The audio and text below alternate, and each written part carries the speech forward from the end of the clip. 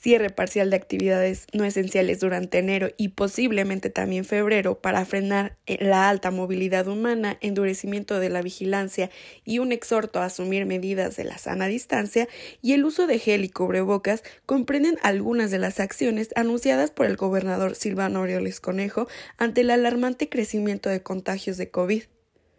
En su encuentro con medios de comunicación, el mandatario estuvo acompañado de Dania Carpios Ríos, secretaria de Salud de Michoacán, quien presentó el análisis del comportamiento de la enfermedad, destacando que no es que no funcionen las medidas, sino que hace falta más responsabilidad social.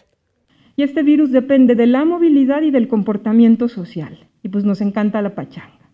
Entonces es difícil de controlar, no hay una medida que lo desaparezca porque es una enfermedad sin tratamiento. Sobre ello, el gobernador Silvano Aureoles Conejo advirtió que para generar estabilidad es necesario implementar severas limitaciones porque el riesgo sigue creciendo.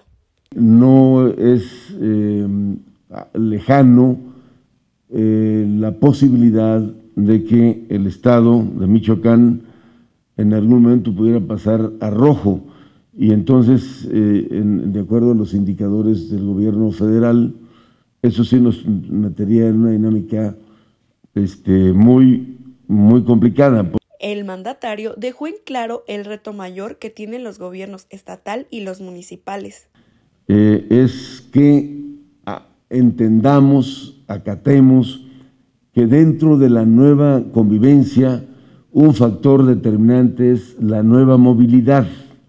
Si no paramos la movilidad, no vamos a parar los contagios. Desde este lunes deberán comenzar a sesionar los comités municipales de los 22 ayuntamientos con mayor riesgo, donde se acordarán las acciones necesarias para cada municipio en lucha por contener la movilidad humana y con ello abatir y romper los contagios que desde hace tres semanas se registran un alarmante crecimiento especialmente en la capital michoacana. Ana Paula García Velázquez, Notivideo.